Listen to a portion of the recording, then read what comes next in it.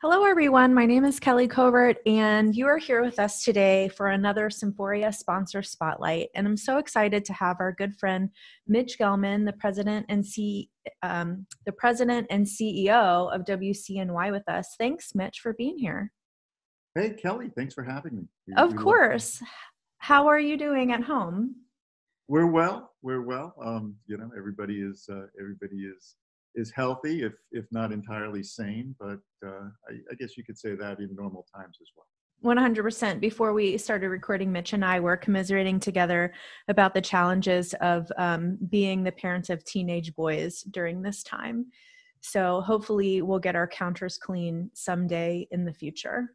yeah, I don't. I don't think we're the only parents whose kids have interpreted at-home learning as at-home video game playing. Mm-hmm, 100%. So, WCNY is a media sponsor for all of our POPs concerts, and we're so thankful for the support that you have given us. And we're super excited about our live concert, a concert for our times that is happening Saturday evening, May 9th from 8 to 10. And so, we thought we would have you on to give you a chance to tell our audience a little bit about what WCNY does in our community. Well, WCNY uh, has five television channels that we distribute, and um, uh, our primary radio station is Classic FM, which is our classical music station for the region. So the alignment with Classic FM uh, on WCNY and Symphoria um, is, uh, is perfect. And that's why um, we are playing classical music um, every day. We've made it for at least this period of time a news free zone. So uh, our usual NPR updates that come in on the hour, you don't have to worry about that anymore. There's plenty of places uh, on your dial to get the news. We just want to create a uh, oasis of calm provide classical music and um, have added a couple of special programs, one of which is Diane Jones' um, Classical Companion, in which she's been talking to a number of different um, musical leaders throughout the region, including um, the conductor uh, Larry Loh from Symphoria, about the music they turn to in times of stress. And um, that's a wonderful show that um, has been airing a couple of times a week and is available at WCNY.org. Um, through our um, online feed. On the television side, we've been doing something really interesting. We've partnered with the Syracuse City School District to create TV Classroom. Um, this is uh, this airs on uh, our Global Connect channel from 8 to 5 p.m.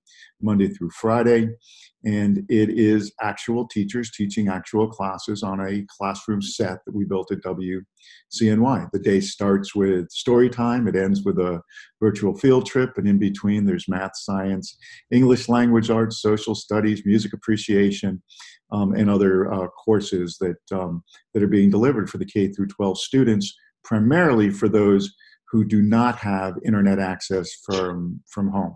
There's a there's a big homework gap uh, in um, you know in in the country, and particularly in our region, where many of the the urban and rural students don't have access to um, to broadband uh, internet. And this way, the school districts are sending home workbooks so the kids can follow along on television um, and uh, and stay on top of and in sync with their studies.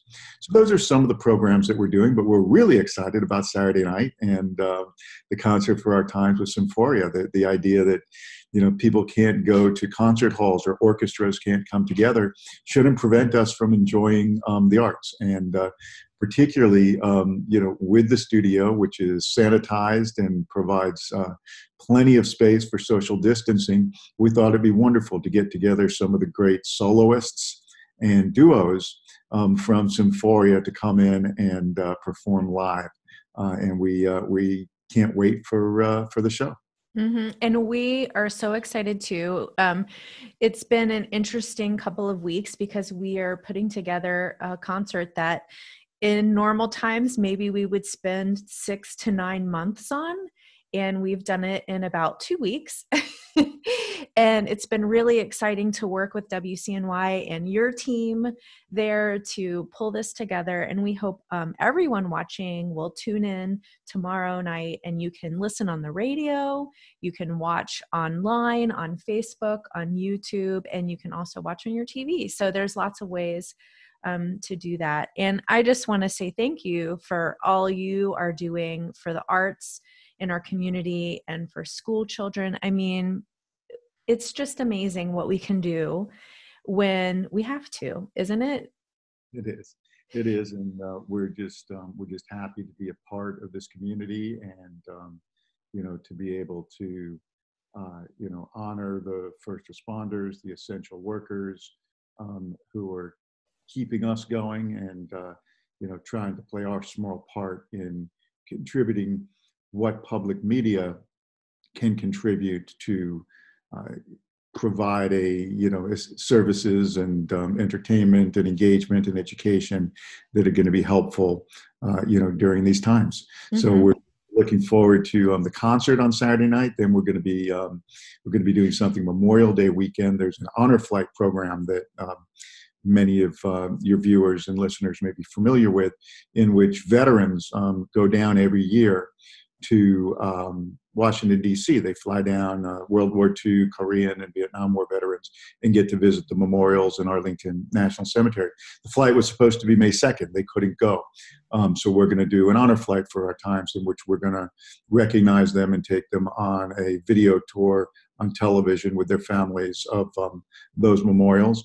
And then the uh, school superintendent called yesterday and said he'd like to um, he, he'd like to give his seniors a prom.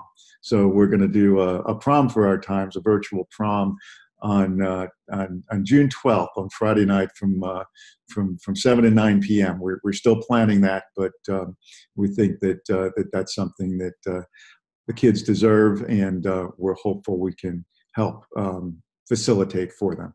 Mm-hmm. I love it. I love it so much. So, finally, Mitch, if you have any um, parting words for all of our Symphoria supporters, what would you say tonight? No, just thank you. Thank you for supporting the arts. Thank you for being uh, patrons and fans um, of the arts. Thank you for sharing your love of classical music with um, with the rest of us. And um, uh, I hope that when you're not able to attend concerts in person at Symphoria, you're tuning in to listen to uh, Classic FM uh, and on WCNY. Mm-hmm. So thank you. Thank you so much, Mitch. And thank you all for joining in today. And we hope that you will join us for a concert of our times Saturday night, May 9th from 8 to 10 p.m. And then stay tuned after for the post concert Q&A with Larry and Sean. It's going to be a really great night. Thanks, Kelly.